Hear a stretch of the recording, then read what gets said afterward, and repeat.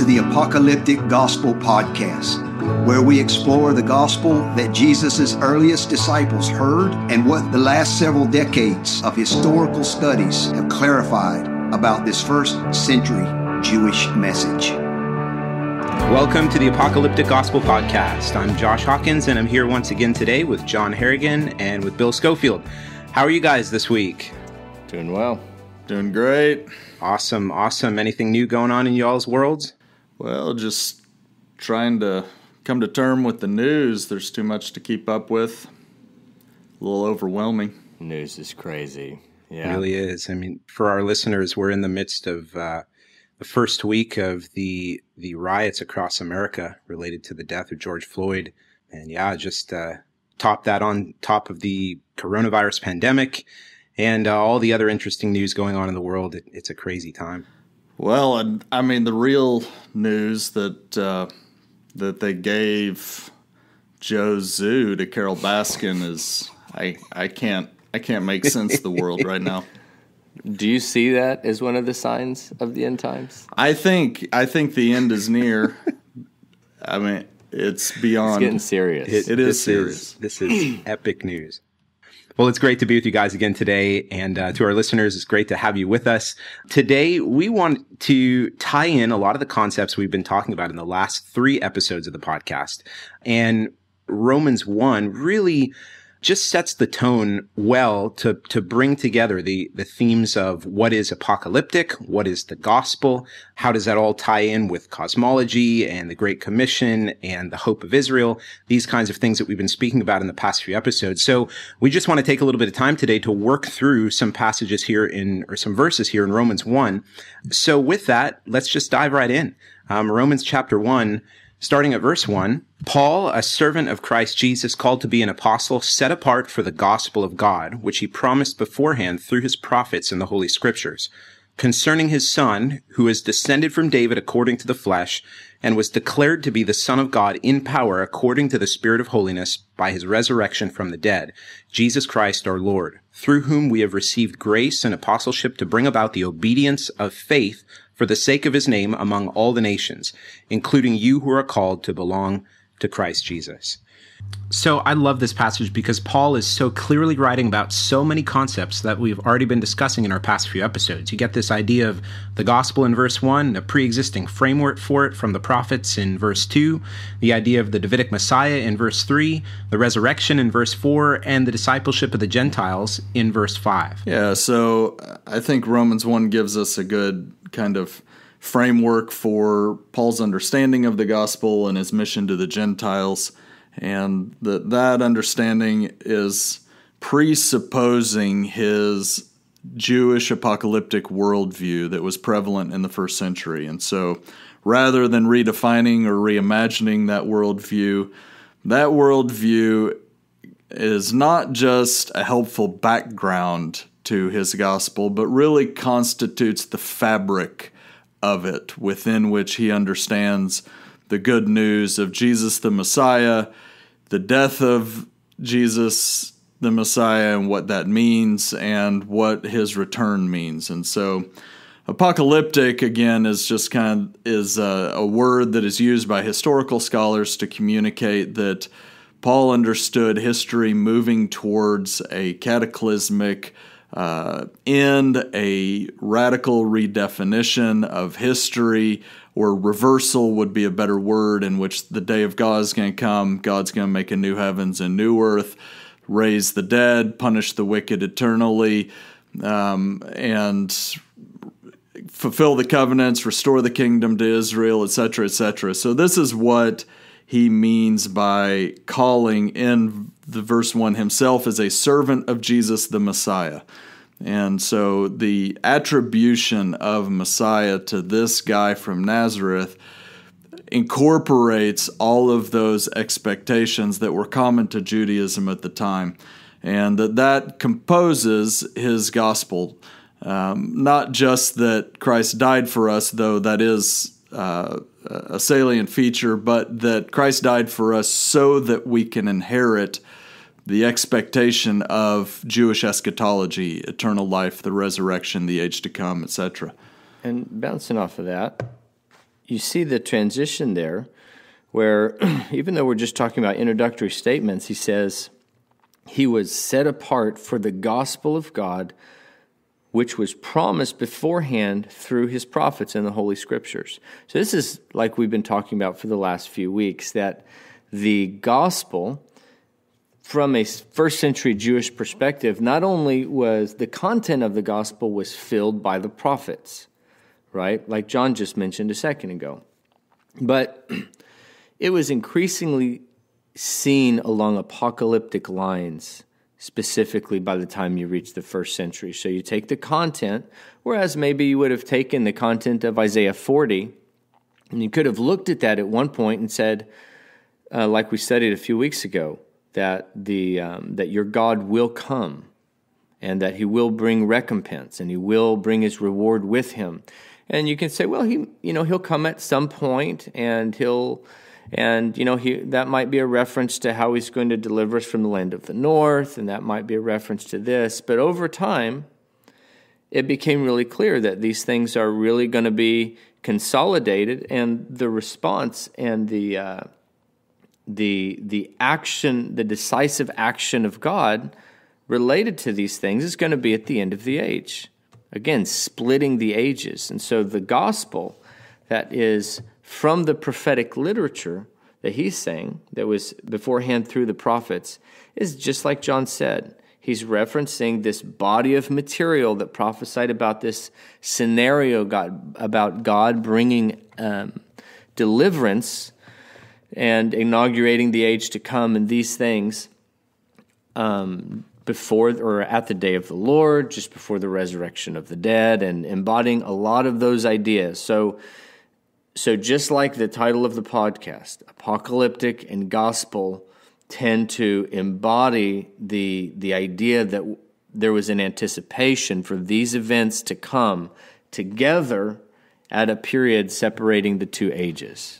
Right, which I think he really picks up in verse 16 in chapter 1, where he says, I'm not ashamed of the gospel, for it's the power of God for salvation to everyone who believes. And so the death of Jesus is the power, the means by which you attain salvation. And all the Jewish apocalyptic literature, the literature written around the time of the first century, salvation is from the wrath to come. Salvation is from the day of God and the wrath that's associated and judgment that's associated with it. And so I think you get a, you know, the same thing, for example, comes to mind in chapter 5, where he says, Since therefore we've now been justified by his blood, verse 9, so the death of Jesus, how much more shall we be saved by him from the wrath of God? And so the gospel is fundamentally twofold. It involves the death of Jesus to deliver us from the wrath to come, the day of God to inherit eternal life and the resurrection. Yeah, that's good, guys. It's really good. I think if our listeners recall the last several episodes, especially when we work through some passages in Luke's gospel, where we looked at Luke 3 and Luke 9 and Luke 20, um, we really saw that the core of the gospel message that John and the 12 and Jesus all preached had to have its roots and its grounding in the prophetic literature of the Hebrew Bible, what the prophets said. Uh, and, and we saw even, you know, how the gospel was preached before Jesus even died. And so to understand that the gospel begins uh, and, and has its roots in the Old Testament prophetic literature, um, this really sets up the context for the next few verses that Paul begins here, opening up his letter to the Romans with. So, verse three, concerning his son who is descended from David according to the flesh. This is clearly referencing something um, from from Second Samuel. Do you, you want to take a second to dive into that? Well, and just before you jump, before uh, you jump into that verse 2, Paul makes explicit, which he promised beforehand through the prophets in the Holy Scriptures. So Paul has in mind that his gospel is explicitly from the prophets in the Holy Scriptures. Yeah, That's right. that's good. yeah, I think Josh. Um, yeah, we've just become accustomed to skipping over those passages. Uh, the fact that he was Yeah. descendant of David almost looks like a messianic checklist to us. You know, it was like right. there's a list of prophecies that Jesus had to fulfill, and but this meant a lot more. The content of the prophecy is actually important, right? And so we have in 2 Samuel 7, starting in verse 12. So it's, uh, it's, it's known as the, the Davidic covenant when um, God visits David and makes a covenant with him. And he says, beginning in verse 12 of 2 Samuel 7 When your days are complete and you lie down with your fathers, I will raise up your descendant after you. He will come forth from you, and I will establish his kingdom, and, and he will build a house for my name, and I will establish the throne of his kingdom forever. I will be a father to him, and he will be a son to me. So, so this is a great example of how some of the oracles were were being seen because again you may look at this and say oh it's it's all about Solomon and yet it's a very underwhelming result to see Solomon as the answer to I will establish his kingdom and I will establish the throne of his kingdom forever right? Especially in light of what happens just after Solomon. The kingdom's divided, and then comes the two exiles a couple centuries later. So it's the same with all the themes right. as they progressively get pushed to their ultimate end. So the same way with messianic expectation. Absolutely. And and so in the Psalms you have the same thing in Psalm 2. It's another reference to um, uh, Psalm 2 7, I will surely tell the decree of the Lord. He said to me, You are my son.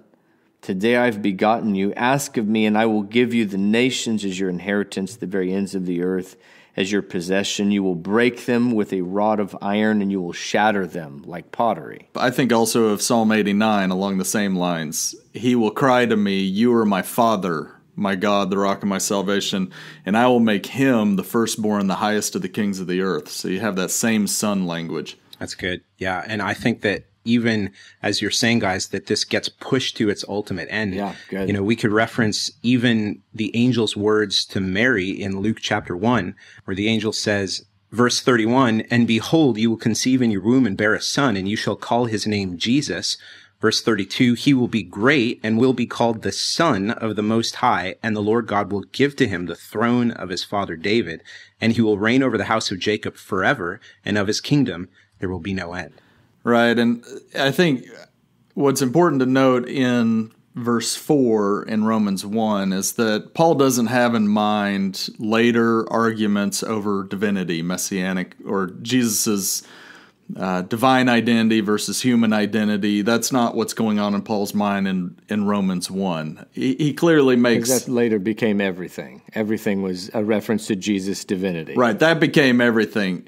Now, clearly, there's there's ideas about messianic divinity already happening in Second Temple Judaism, and right. Paul makes declarations that that Jesus, I'm thinking, you know, First Corinthians eight or whatever, that he makes declarations along those lines of Jesus' divinity. But in Romans one, that's not what Son of God references. He would, if he used the phrase "Son of Man," that held much more messianic divinity uh, associations with divinity than right. Son of God. Son of God was because of Daniel 7, Son of God really associates much more humanity and is associated directly with the Davidic covenant and messianic expectation. So when he's declared the Son of God in verse 4, Paul is really just associating his gospel with the prophetic literature and messianic expectation that Jesus is the Messiah, the King of Israel. Yeah, right. So, so what's happening is that Jesus' resurrection is not a fulfillment of the expectation of the resurrection of the dead; it's a confirmation of the resurrection of the dead, and thus, in the mind of a first-century Jew, it's a confirmation of this larger worldview. Right. Right. His his resurrection didn't change that worldview, but rather affirmed it and affirmed the expectation that Jesus is actually going to return to Jerusalem, raise the dead, rule from Zion, etc. And be the judge of the living and the dead, even as Paul said in what we talked about in one of our past episodes in Acts right. 17, right? Where uh, the proof that he has given him to be the judge of the living and the dead on the day of the Lord, inclusive of everything Jewish eschatology, is that he has been raised from the dead. Uh, and this is, you know, what Paul affirms in Acts 17 that we looked at in a past episode. Which I think leads us then into verse 5 and the mission. Yeah, absolutely. Because here in verse 5, I'll just reread it here. It says, through whom we have received grace and apostleship to bring about the obedience of faith for the sake of his name among the nations. And I think with this, Paul's understanding of his mission is to bring the Gentiles into the obedience of faith. And so again, this is not a change in Jewish eschatology, but it's how do we bring Gentiles into Jewish eschatology? And, and this is more than just being about good discipleship of, okay, well, stop sinning and do some good deeds and then you'll go to be with Jesus in heaven when you die. This is about affirming, forcefully affirming Jewish eschatology and saying, how are the Gentiles brought into this? Yeah. I think an important connection here in Romans 1 eh, that Paul intentionally makes with the context or with this, uh, with the concept of obedience of faith is found down in, in chapter, in verse 17 of chapter 1 for in it the righteousness of God is revealed from faith to faith, as it is written, but the righteous man will live by faith. And so this is a familiar phrase, comes from Habakkuk and the prophets. And just to just to give a I'm going to go back there briefly just to touch on because it gets referenced a number of times in the New Testament and it's one of those verses that has been so brought into tradition and a, and a certain understanding of it that it's so random when it gets cited. It's just super random when the when when the quotation comes up. So if you look back in Habakkuk, Habakkuk 1 is essentially this gnarly prophecy of the Chaldeans, of the Babylonians coming, and it's really intense.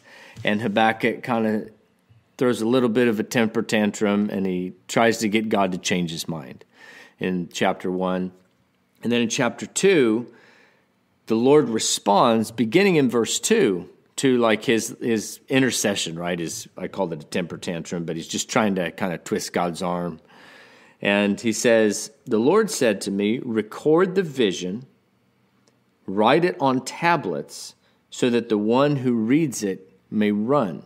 Right? So essentially, I spoke to you, you asked me to change my mind. Now I'm telling you, write the thing down it's it's gonna happen. The, the, the oracle is gonna happen just like I said it would. For the vision is yet for the appointed time. It hastens towards the goal. It will not fail. Though it tarries, wait for it, for it will certainly come. It will not delay. And so the, the thrust of the passage here is to affirm the certainty of this oracle. And, and you have this, this sometimes quoted in a goofy context, so that the one who reads it may run. So it involves a, a uh, basically the surrounding of and the desolation of Jerusalem. And so the reference to the one who reads it may run is so that the one who hears the oracle, they can actually leave town before the thing happens. So they don't die. So they don't die. it's not about a vision statement, right?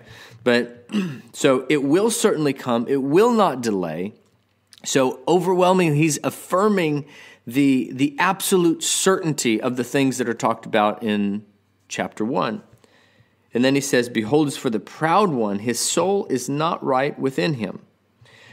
He separates the proud and the righteous. And he said, But the righteous will live by faith. And so this is a, again, so, like, how does that even fit in the context? So, you know, there's um, one of the things about this passage is a lot of people have highlighted that the word munah, not emunah, the word munah in Hebrew actually really means steadfastness or reliability or trustworthiness. And so the righteous man will live by steadfastness, by trustworthiness. It's a little bit awkward, even in Hebrew. And so the the uh, there's a couple of commentaries that I know of that that have highlighted the fact that this is most likely not a reference to the righteous person, but about the oracles that they're reliable and they're trustworthy. And so, a way you could translate that would be the righteous man will live as though the oracles were reliable. Yeah, which is just uh, the the you boil it down, and all Paul is saying by quoting Habakkuk 2 is that he wants the Gentiles to trust and rely upon the scriptures of the prophets in the Hebrew Bible. Right. Just bringing them into the obedience of faith, trusting in those oracles the way that he trusts in them as a first century Jew. Because it's not a, it's not really that m- mysterious of language if you understand what he's saying. And this is, you don't even really need Habakkuk two to understand what he's saying. He's basically saying, I, I'm, I'm I was given apostleship to bring about this response to the proclamation of the Jewish oracles among the Gentiles. Well, and Paul, like the whole letter of Romans, says the same thing throughout. And it closes, I think, the most, for me, the most powerful chapter of the book of Romans is chapter 15, where he basically closes the book the same way he opens it. Chapter 16 is is mostly just greetings and and that kind of deal. But chapter 15 is the real close and he he climaxes in verses 8 and 9 where he says, "For I tell you that Christ became a servant to the circumcised to show God's truthfulness." In order to confirm the promises given to the patriarchs and in order that the Gentiles might glorify God for his mercy.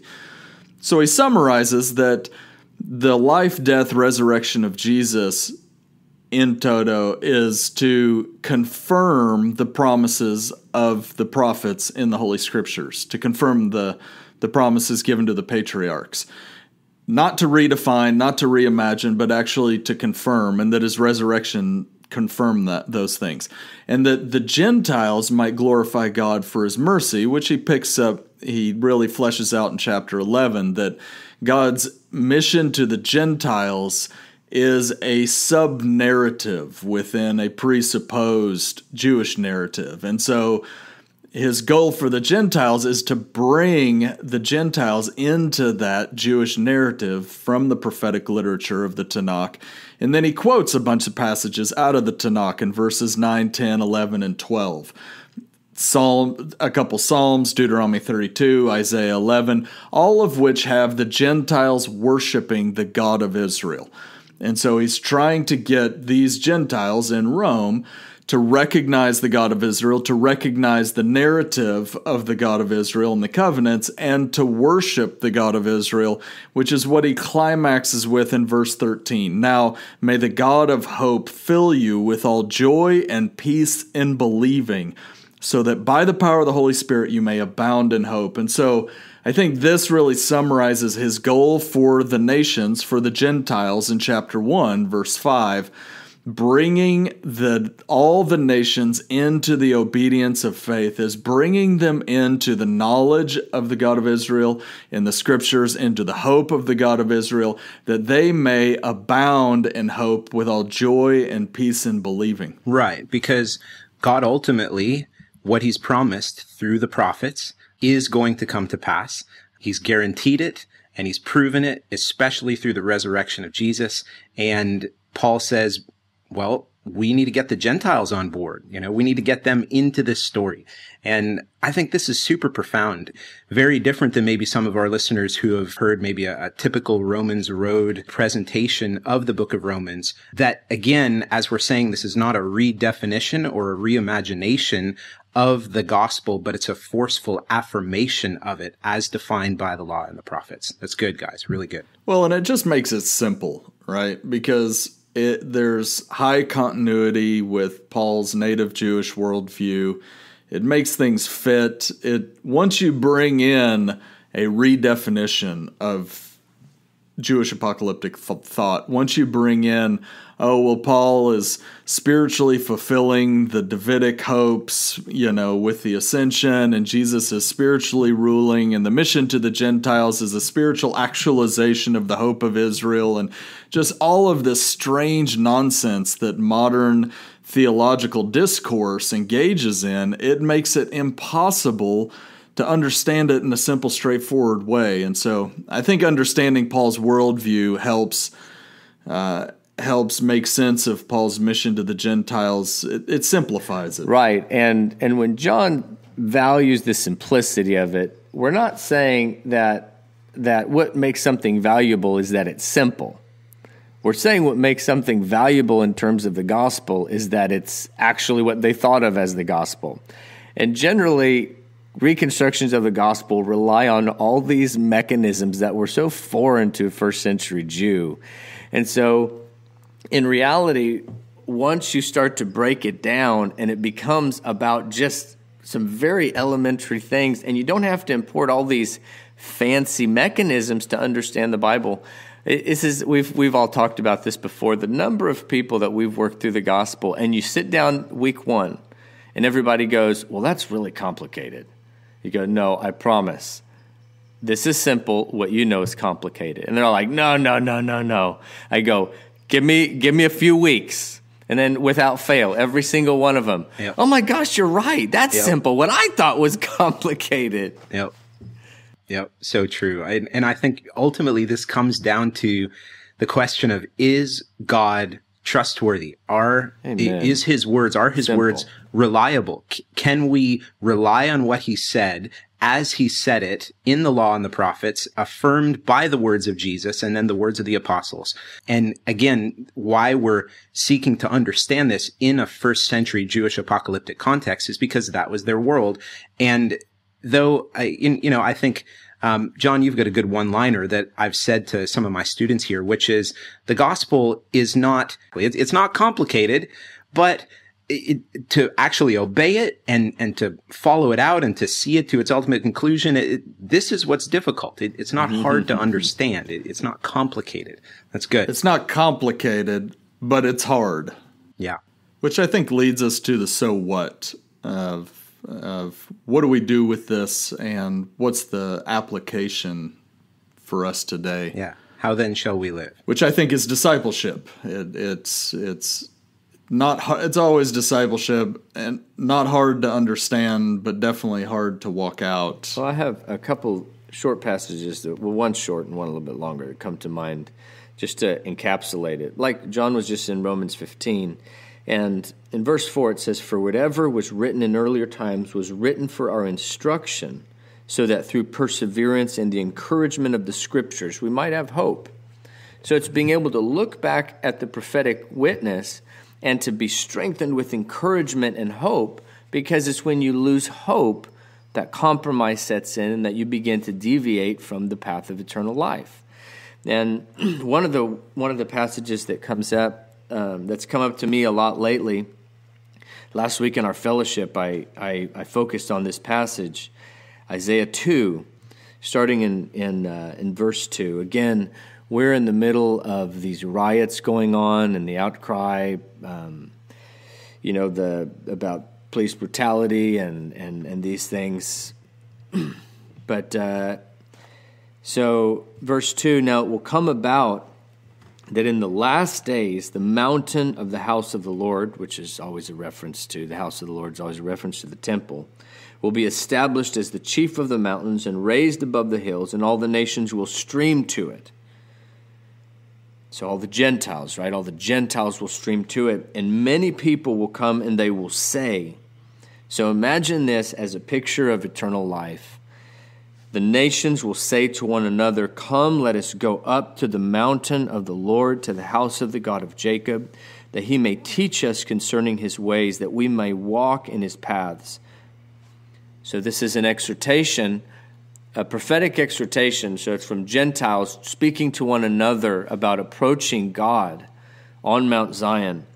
And it says, For the law will go forth from Zion, and the word of the Lord from Jerusalem, and he will judge between many nations. He will render decisions for many peoples. And listen to this description. And they will hammer their swords into plowshares, and their spears into pruning hooks. Nation will not lift up sword against nation, and never again will they learn war. So, this picture, this being the, the picture that you have when you think of eternal life, versus, as we've joked before, that Far Side comic with the guy sitting on the cloud saying, I wish I would have bought a magazine. So, this being the picture of eternal life, when you turn on the news and you see the riots and you see the outcry and you see all the confusion and being able to have the certainty to be able to say, it's not going to be like this forever. Look what's coming. Like the, the word of the Lord will go forth from Zion, and people will actually learn to walk in his ways, and war will cease from sea to sea. And verse 5 ends this, and it says, Come, house of Jacob, let us walk in the light of the Lord. This is essentially discipleship in light of this picture of the end of the age and of the, and of the world to come.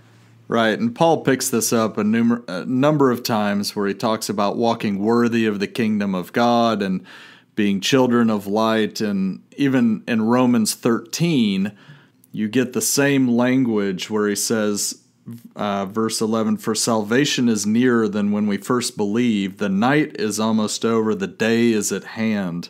So, so what? Let us cast off the works of darkness and put on the armor of light. Let us walk properly as in the daytime. And so discipleship is really according to destiny, according to eschatology. I mean, it's according to design, how we were made in the beginning. We weren't made, as he goes on, not in orgies, drunkenness, sexual immorality, sensuality, quarreling, jealousy, etc we weren't made for that stuff in the beginning in the garden. We're not destined for those things at the parousia, the coming of Christ Jesus in the day of God and the age to come. Therefore, let us walk according to our design and our destiny, the hope of our calling, and let us uh, put on, as he says in verse 14 of chapter 13, put on the Lord Jesus Christ and make no provision for the flesh and the flesh gets used a number of times to just talk about your life in this age, right? Galatians 2. Therefore, I have been crucified with Christ, and the life I live in the flesh, I live by faith in the Son of God who died for me. And so, the life between now and the resurrection of the dead at the day of Christ Jesus, I live by faith in Him who died for me to present me righteous before the judgment seat of God at His coming and that this is how discipleship played out according to the light of the oracles and this is what Paul's trying to do for the Gentiles is to bring the Gentiles into the faith of the oracles into the hope of eternal life and to walk that out in obedience producing fruit in keeping with repentance. That's right. That's right. Yeah. And I think I think ultimately this is Paul's mission, right? To bring the Gentiles into the obedience of faith and this is why he says, even in Romans 15 verse 20, I make it my ambition to preach the gospel, not where Christ has already been named, lest I build on someone else's foundation, right? So Paul ultimately here in Romans 15 verse 20, even as we talked about uh, in one of our past episodes on the Great Commission, because God has appointed Jesus to be the judge of the living and the dead on the day of the Lord, go and disciple the Gentiles into the obedience of faith. And again, this is what Paul is doing. It's really the apocalyptic context of the gospel of what the law and the prophets have spoken that will come to pass on a real day and a climactic day in the future that is what drives Paul's mission to the Gentiles. And, and I, I, feel even, you know, for us, I mean, this ought to be what drives us as Gentiles to encourage and provoke and stir others in light of the day of judgment, in light of the coming day of the Lord to fulfill everything that the law and the prophets has spoken. Amen. So with that, we're going to wrap up today's episode. Thanks for joining us today, our listeners. We hope you join us again next week as we continue to look at more of these really important themes from the scriptures. God bless, and thanks for listening to the Apocalyptic Gospel Podcast. God bless. Thanks for listening to the Apocalyptic Gospel Podcast. For more, visit us on our website at apocalypticgospel.com and follow us on Twitter at Apocalyptic Gospel.